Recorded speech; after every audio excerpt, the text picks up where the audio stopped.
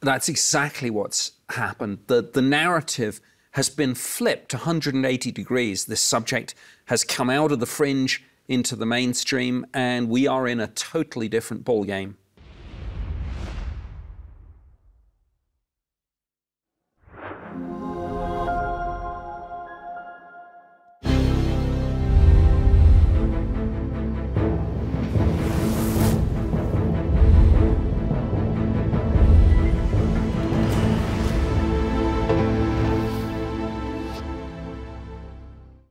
Well, welcome to Beyond Belief. We have an amazing guest back with Nick Pope, who worked for the British government for 21 years at the Ministry of Defense, the UK equivalent of the U.S. Department of Defense. He now works as a broadcaster, journalist, and is one of the world's leading experts on UFOs, the unexplained, and conspiracy theories. Nick, welcome back to Beyond Belief. Thank you. It's great to be back. You are one of the best investigators I have ever interviewed. I just want you to know that before we start. Thank you. How did you get involved in this?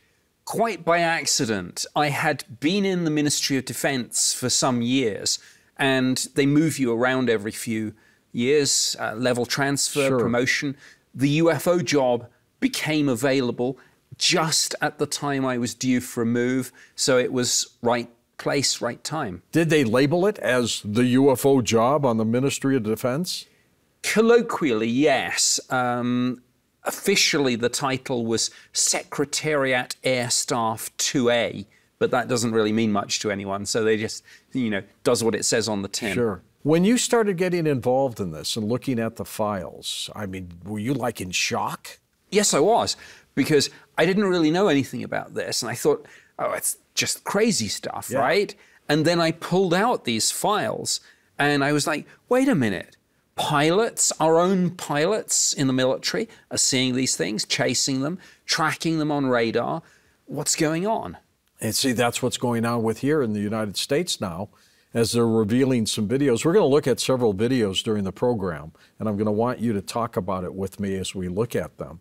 But it's truly remarkable what's been going on. It's almost as if those people who never believed those people in the UFO field are now sitting back going, oh my God, these people were right, weren't they? That's exactly what's happened. The, the narrative has been flipped 180 degrees. This subject has come out of the fringe into the mainstream, and we are in a totally different ballgame. What was it in the files that you first saw that just blew your mind? Well, I think it was the Rendlesham Forest incident. Great case. Tell us quickly about that. Britain's Roswell December 1980, not just lights in the sky, something lands, tracked on radar, multiple military witnesses, including the deputy base commander, and physical trace evidence, burn marks in, in the trees.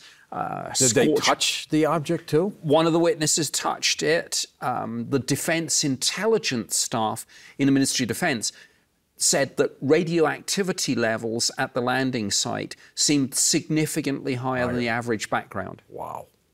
And what didn't somebody get sick, physically sick, from being too close to the object? Several of the witnesses did.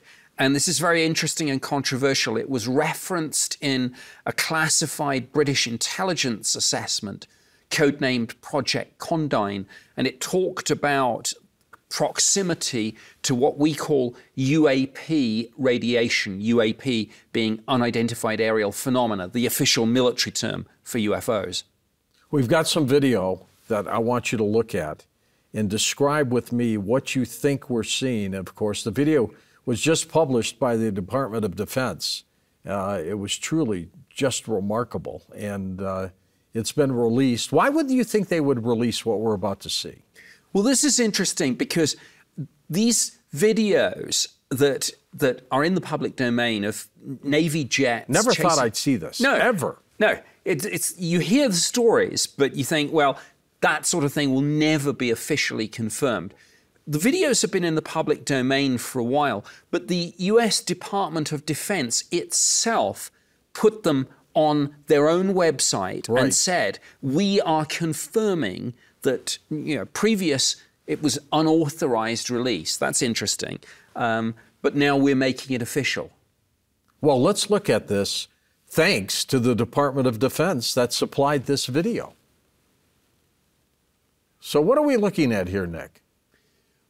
What we're seeing is a, a, sort of pilot's eye view. This is from the plane of the pilot. From the plane. These are uh, F 18 Super Hornets, one of the most advanced naval jets in the world. Hundreds of millions of dollars per yeah, jet. Absolutely. And the pilots are the best of the best. I mean, these, these men and women are, are literally the top guns.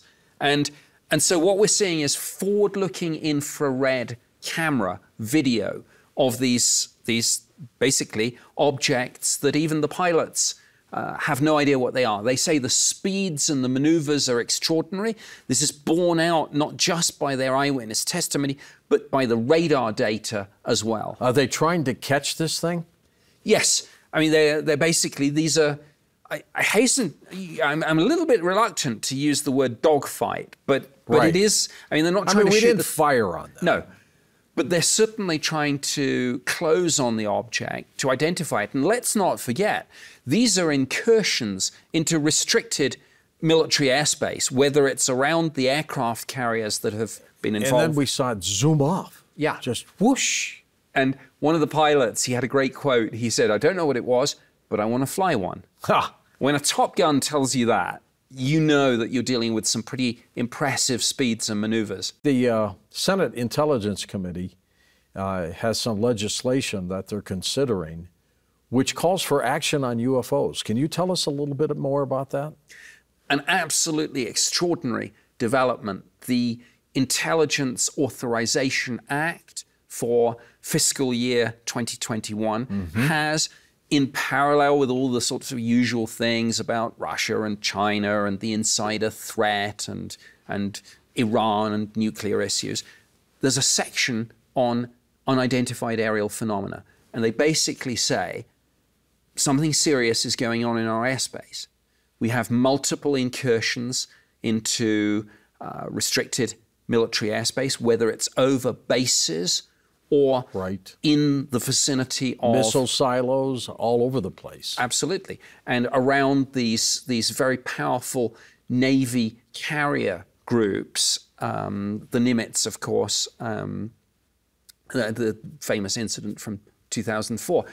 So the that's the Tic Tac. That's the Tic Tac. Right? Yeah. So the Intelligence Committee has basically said we require from the Director of National Intelligence, in consultation with the Secretary of Defense, a full report into what's going on. We are not happy with the fragmented information that we have. Different parts of the intelligence community doing different things, nobody putting the big picture together. We want to know what's going on. We want a report within 180 days of this uh, bill being enacted. We want it unclassified, but possibly with a classified um, appendix. So, uh, unprecedented. I mean, normally these sorts of uh, the senators who oh, run these dramatic. sorts of committee, they, they don't touch this issue at all. It's toxic. And now they're saying things are getting so serious, we want um, DNI and SecDef to do a proper intelligence assessment. Nick, Rear Admiral Thomas Wilson has documents they claim that purport to be all about UFOs. Richard Dolan, ufologist, believes they're authentic. What are they? Well, this is a, a fascinating story. Um, 15 pages of notes purporting to relate to a meeting that took place in 2002, round and about, um, involving former Defense Intelligence Agency head Admiral Thomas Wilson. Okay. And uh, Eric Davis, who had been involved in the National Institute for Discovery Science, which was an early Bigelow NIDS. think tank. Yep. yep. Um, and Edgar Mitchell was involved in Apollo some of those. 14 astronaut, late Yeah. astronaut. He he had Mitchell had almost been the facilitator of this. I mean, who wouldn't want to attend a meeting with a genuine hero, Absolutely. sixth man to walk Absolutely. on the moon? So, and we, loved Edgar Mitchell. Yeah, absolutely. I, I, met him a couple of times. Wonderful man, very um, interesting on all sorts of levels. But he he set up some of these meetings, and these notes purport to to basically run through almost the, the kind of um, origin story of the modern UFO phenomenon, from UFO crash, possibly at Roswell, through to the attempt to reverse engineer something. And if these notes are genuine, it would seem to confirm almost every previously regarded as far fetched claim about all this and have people saying, you know, maybe it's real after all. What are you looking for? I'm looking for answers. I'm looking for answers to one of the biggest and most interesting questions we can ask. And I feel that we might be as close to that answer as we've ever been. Thanks for being on Beyond Belief. Thank you. Since the beginning of time, mankind has been fascinated with the possibilities of life beyond our own planet. Is it conceivable? Is it possible? We are being visited. Think about that.